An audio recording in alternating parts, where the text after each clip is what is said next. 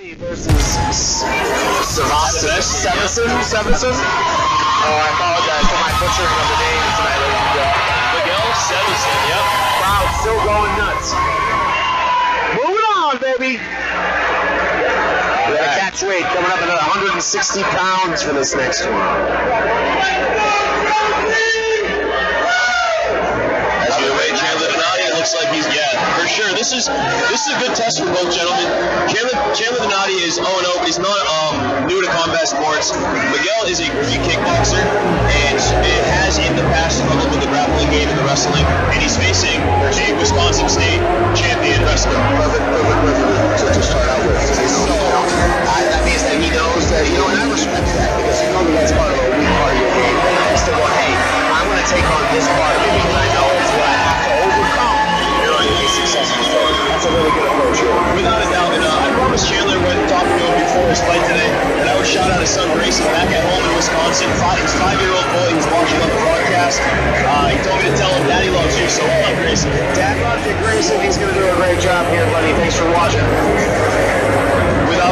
Wisconsin State champion, I mean, that's that's nothing to, to shake a stick at. I mean, as a large state with a lot of strong wrestlers. And the, the, Midwest is full of, of just absolute corn-fed, just complete monsters. It's just strong boys out there. You definitely one. So, um, anybody from you, you name the Midwest states that he was a state champ wrestler from that area, that means that he's gone up against some real heavy competition out there. So, um, definitely, that's, that's uh, I that's all they do. They eat, sleep, breathe football,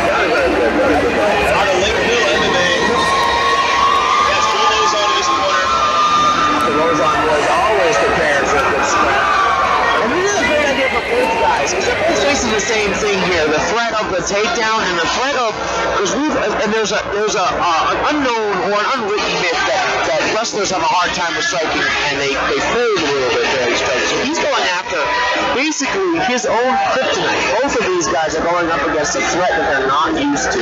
So it, it'll be interesting to see how the styles translate. I'm going to guess the tale of the tape really comes down to how well can Severson um, defend the takedown. If he can take, if he can take that away even once or twice, then his kickboxing is going to be super, super important. And the other thing about Miguel is he also has that X factor. This kid has dynamite in his leg, hand. We saw that when he knocked out Full disclosure here, uh, Miguel is a good friend of mine. Chandler Donati knows this. We're cool about it. But here's the tale of the tape. Uh, Young cats. virtually identical, except one thing that stands out to me is the height and reach advantage for Miguel. Six foot, three inch uh, on the height, five inches on the reach. Now, now, now, what we like, the kickboxer is going to want to keep the wrestler away. That's a good. That's Without a doubt. Let's go to Andy for the introductions. Ladies and gentlemen, prepare yourselves for the next fight of the evening. An amateur mixed martial arts contest taking place at a catchweight, scheduled for three rounds, three minutes apiece. Introducing to you first, standing in the red corner, standing five feet nine inches tall, and weighing in at 159 pounds, from Falmouth, Massachusetts, by way of Greenville, Wisconsin, representing Menendol Martial Arts, makes some noise for tonight. He makes his MMA debut. Let's hear it for Chandler Donati.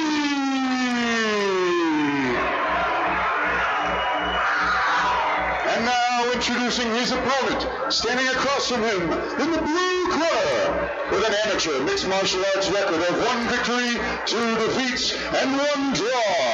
He stands six feet tall, and he weighed in at 159 pounds. From Assonet, Massachusetts, he's representing Lakeville, MMA.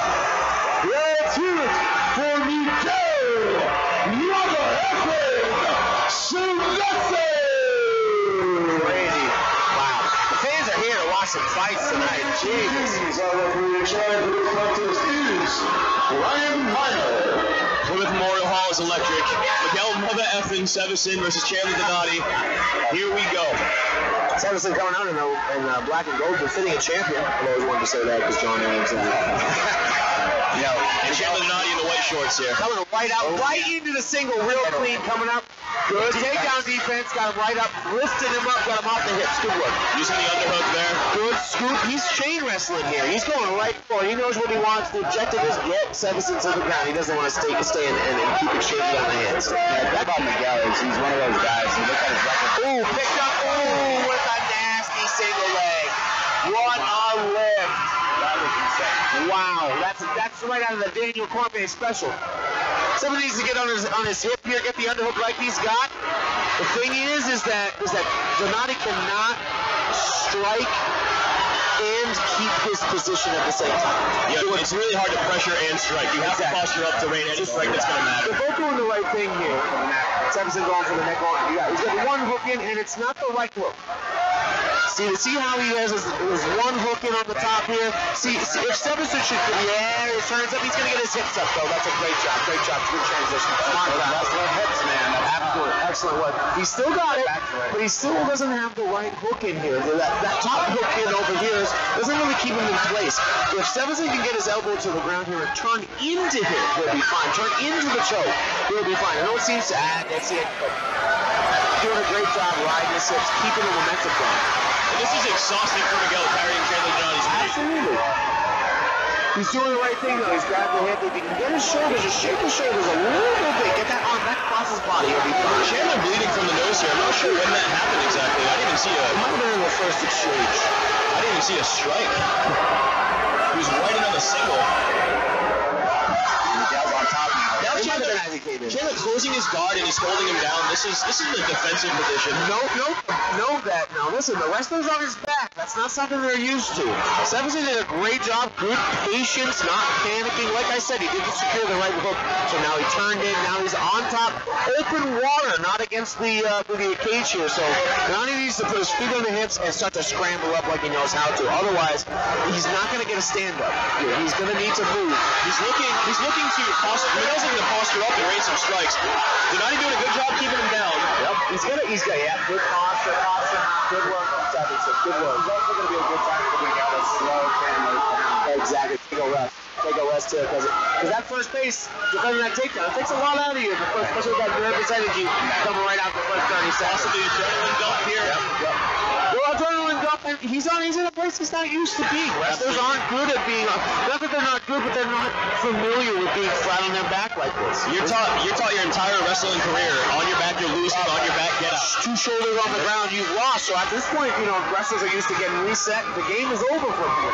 This is a really good pressure here from Miguel on Good, a good head position as well. Absolutely. Good It's a great first round. It's a hard, hard one to score.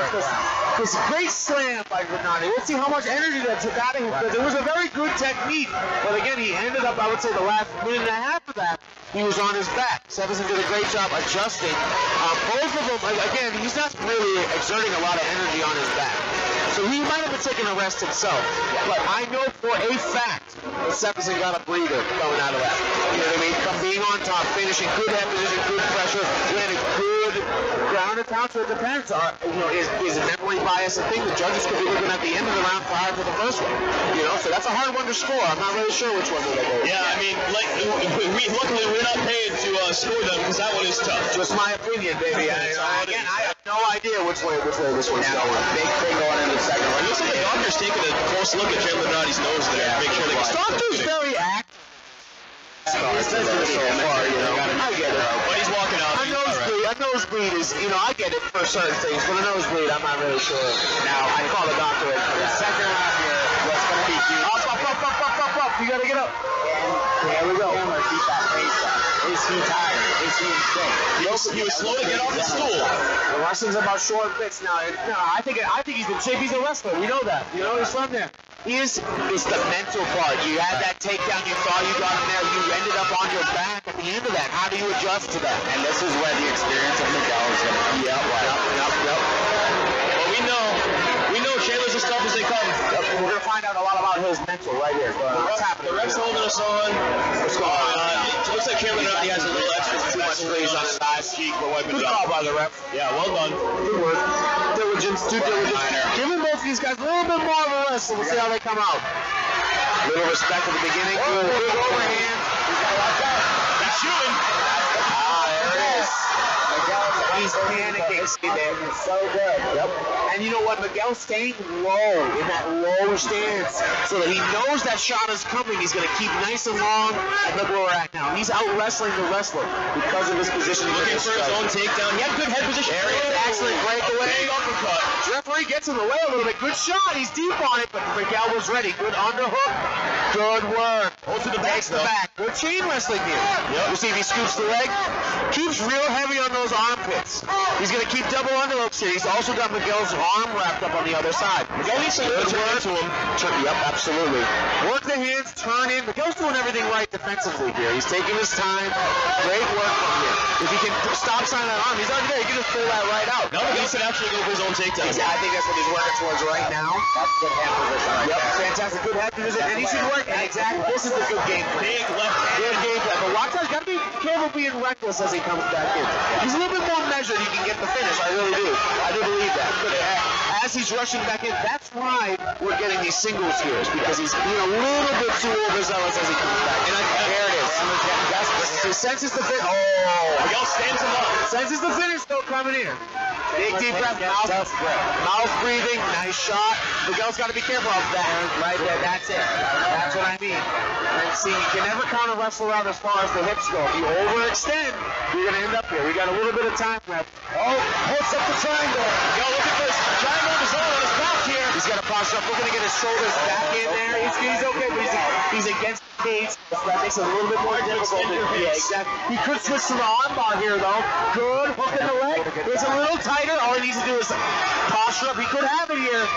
If he, if he turns a little bit more, he's a little bit, he's more away from the cage. There it is. Oh, there it is. Good tap. There's tap.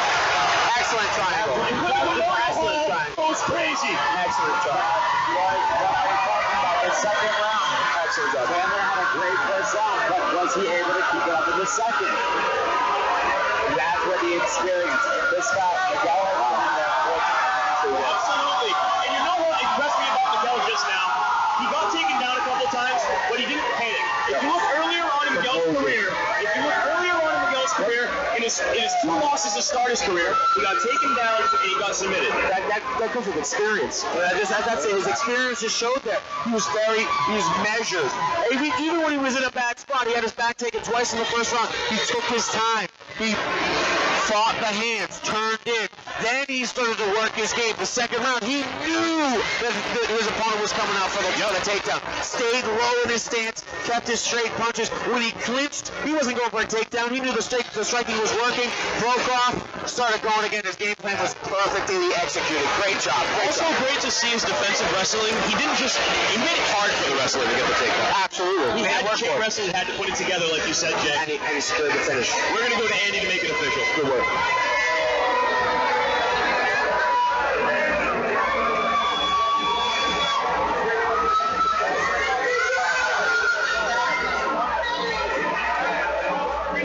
And gentlemen, keep it going for these two.